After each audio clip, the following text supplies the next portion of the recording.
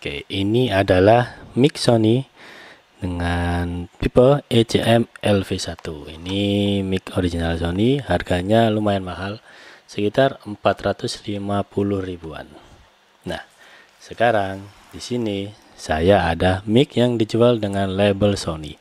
Harganya berkisar mulai 50 sampai 100 ribuan. Jadi sekitar 9 sampai 5 kali lebih mahal. Nah, kita akan lihat Apakah mic ini Sony original atau cuma mic biasa yang ditempeli merek Sony? Dan apakah kualitasnya sama atau kalau yang ini sama seperti mic-mic murah yang saya punya sebelumnya? Seperti ini murah, harganya cuma 10 ribuan. Atau yang ini merek CT yang lumayan, ini ada Boya. Atau favorit saya untuk mic murah merek Fantech. Kita lihat sama-sama.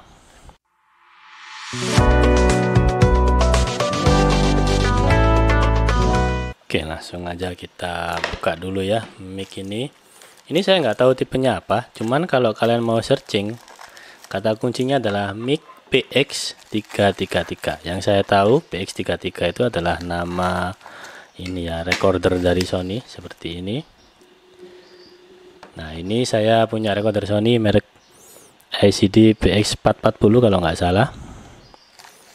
Nah, saya nggak tahu apakah kalau beli Sony uh, recorder Sony PX333 itu dapat mic ini.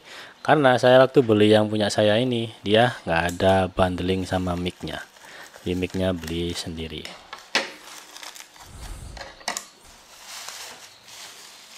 Oke packagingnya lucu ya dia dikasih.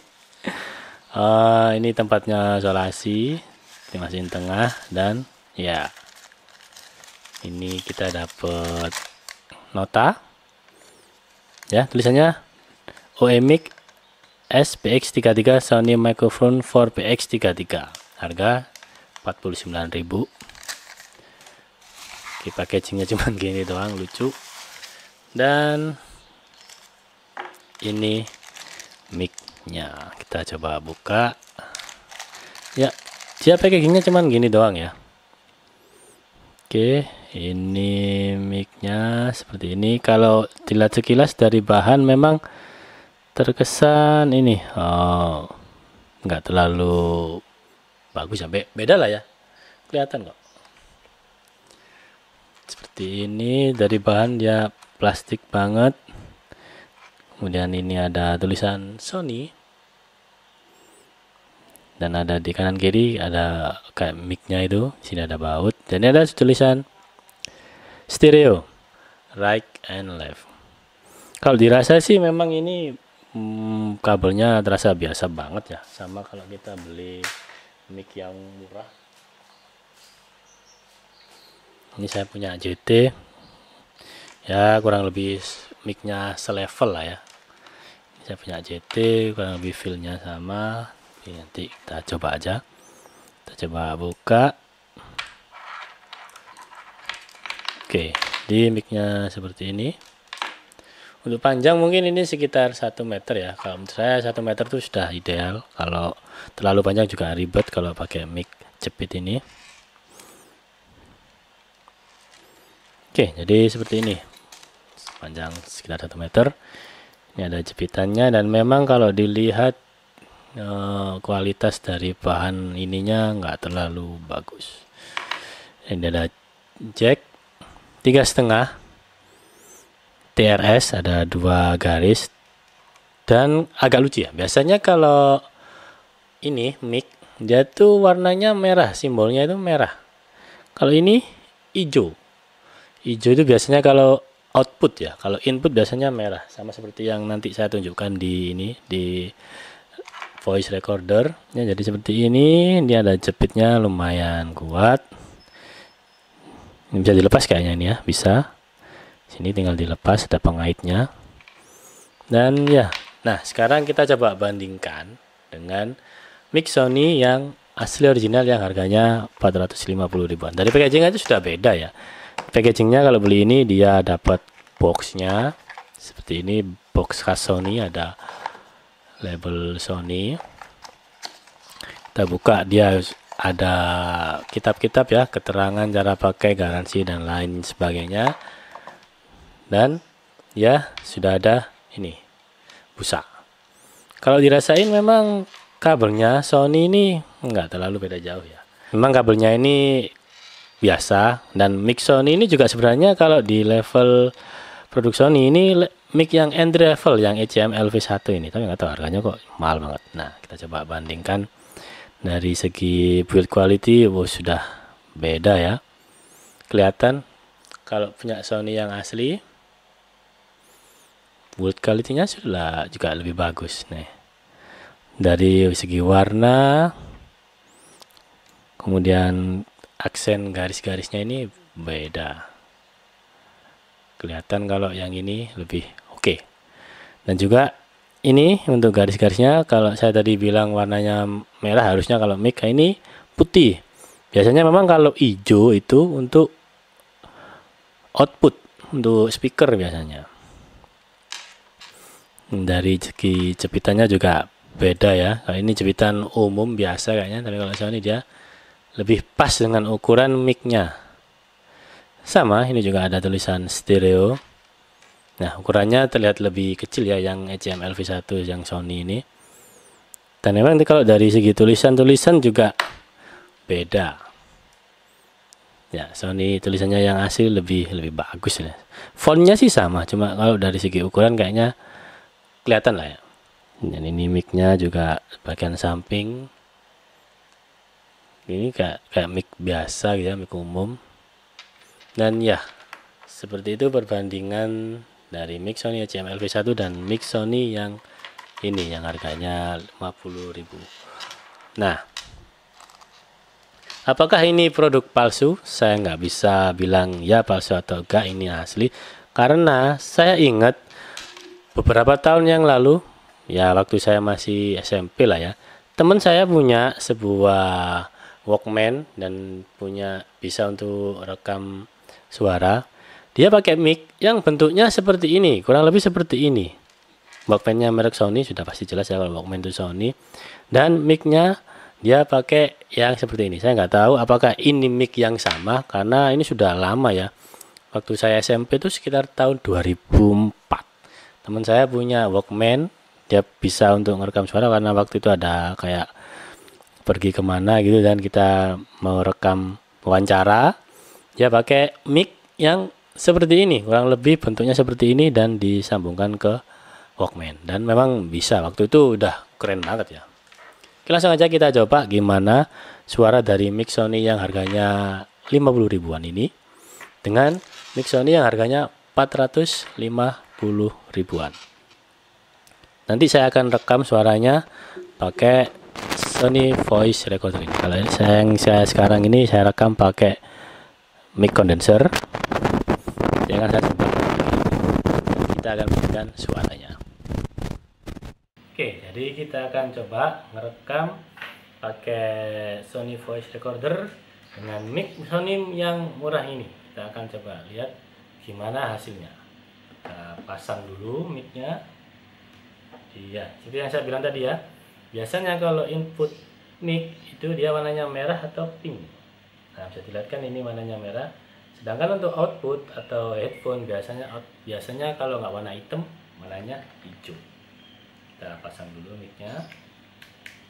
Oke kita nyalain.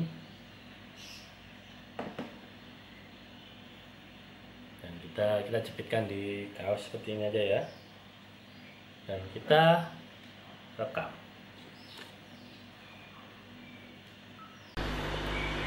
tes cek 1 2 3 ya ini adalah suara yang dihasilkan oleh mic Sony yang harganya 50.000 seperti apa suaranya? Kalau micnya dicepitkan di sini.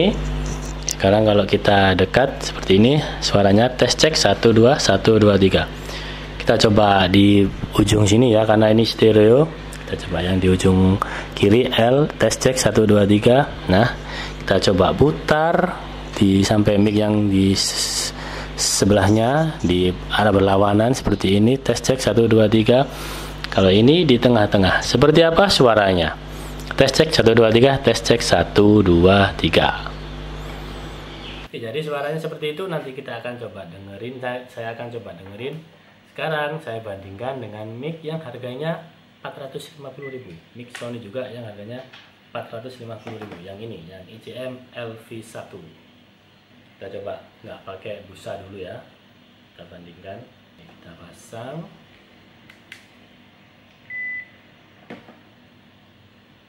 Kita jepitkan di baju. Ini enaknya bisa diputar-putar jepitnya. Ya jadi bisa disesuaikan mau jepit di mana. Kemudian kita pencet rekam tes cek 1 2 3 ya ini adalah suara yang dihasilkan oleh mic dari Sony ECM LV1 yang harganya 450.000 dengan mic yang dijepit di baju suaranya seperti ini. Ini juga stereo. Ini kalau di tengah-tengah coba kita putar seperti ini apakah ada perbedaan dari suaranya?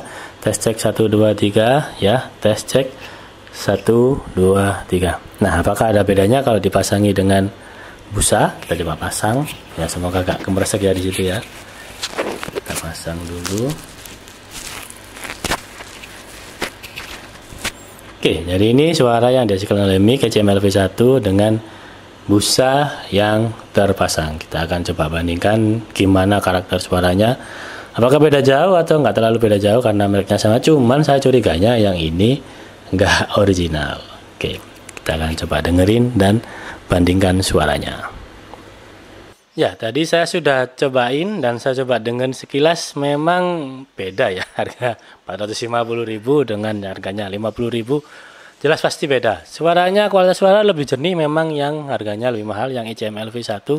Kalau yang tulisan Sony ini suaranya masih kayak terdengar jauh dan juga nggak tahu kenapa mic ini ada suara dengungnya, ada suara bassing dung gitu. Tapi untuk satu plusnya dia memang mic ini stereo. Jadi kalau kalian mau ngomong di sisi sini sama di sisi sini, kalau kalian dengerin pakai headphone kerasa memang kalau kalian putar nanti suaranya akan besar di sini atau suaranya akan di sini doang. Jadi kesimpulannya kalau mau yang original ya beli yang ini ya HM LV1 produk mic dari Sony kualitasnya memang kalau dibandingkan dengan mic-mic yang dijual di marketplace yang harganya murah memang beda. Tapi kalau kalian pengen ya asal punya mic kalian bisa cobain merek-merek lain yang sudah pernah saya review sebelumnya yaitu saya pernah review punya Fantech. Yang ini ini recommended. Dia ceknya sudah TRRS kalau nggak salah jadi bisa dipakai di HP ya ini ya ceknya TRRS bisa langsung dipakai di HP atau kalau merek lain yang recommended lagi kalau menurut saya itu yang Boya BYM1 itu juga recommended kalau kalian memang cari merek Sony ya kalian beli yang original yang tersedia di toko Sony yang harganya memang mahal 450 sekian. Kalau yang ini saya ragu apakah ini original dari Sony karena dari build quality-nya juga sudah kelihatan beda banget. Atau memang ini produk bundle maksudnya produk kalau kalian beli nggak tahu ya. Ini kalau di searching mic Sony mungkin agak susah keluar. Cuman kalau kalian searching pakai kata kunci PX33 keluarnya ini. Jadi saya nggak tahu. Saya nggak bisa konfirmasi. Apakah ini adalah mic bundling kalau kalian beli Sony voice recorder yang PX33 tipe PX33 karena saya punya mic Sony PX berapa ini? 440 ICD PX 440 dan ketika beli ini dia nggak ada bundlingnya. Jadi cuman uh, voice recordernya aja. Cuman saya ingat dulu banget waktu saya masih SMP teman pernah punya Walkman, dia punya uh, voice recorder atau mic yang seperti ini bentuknya, sama, kurang lebih sama persis. Jadi saya nggak tahu apakah ini stok lama yang masih dijual oleh di marketplace karena kalau di Sony kalau barang lama itu sudah nggak dijual lagi di toko sudah nggak ada. Tapi kalau di toko lain mungkin masih ada. Untuk hasilnya nggak beda jauh dengan mic mic yang harganya murah yang kalian bisa temui di marketplace. Cuman nggak tahu kenapa ini waktu saya pakai rekam mungkin kalian juga dengar ada suara dengungnya atau suara hmm begitu. Jadi kalau dibandingkan dengan merek lain yang di marketplace ya kurang lebih 11-12 ya. Cuman kalau saya mau rekomendasikan kalian beli coba punya Fantech atau punya Boya BM1. JT juga murah dan suaranya juga lumayan. Ini juga sebenarnya lumayan, dia juga stereo, cuman saya nggak tahu ini produk asli Sony atau bukan karena kalau dibandingkan dengan produk asli Sony yang keluar tahun ini tahun-tahun maksudnya kekinian ya 2021 kalau nggak salah ini ini kualitasnya sudah beda dari kualitas kabel colokan dan juga bentuk micnya juga aja udah beda jadi kesimpulannya uh, saya nggak tahu ini micnya asli atau enggak cuman kalau kalian pingin yang asli Sony kalian beli yang di Sony official atau di tokonya langsung. Bentuknya seperti ini dapat packaging seperti ini. Kalau kalian beli yang ini ya harganya murah sih. Sekitar 50.000 packagingnya ya seadanya itu cuma dibungkus plastik. Tapi nggak tahu saya ini original atau enggak cuman ini memang berfungsi. Tetapi saya nggak tahu apakah ini original apa enggak jadi kalau kalian untuk di budget sekitar di bawah 100 coba cari merek lain yang sudah saya sebutkan tadi. Mungkin kalian lebih cocok pakai itu. Disesuaikan juga ya dengan penggunaan. Karena ini jacknya TRS untuk yang mic mic kekeluaran kekinian sekarang jacknya TRRS jadi bisa dipakai langsung di HP kalau ini kalau mau dipakai di HP harus pakai splitter. Cuman kalau mau dipakai di jack TRS kayak di Sony Voice Recorder bisa langsung Oke, saya kira itu. Terima kasih sudah nonton video ini dan sampai jumpa di video-video saya selanjutnya. Jangan lupa kalian like, comment, dan subscribe channel ini. Di mana kalau mau beli akan saya tulis linknya nanti di, deskripsi.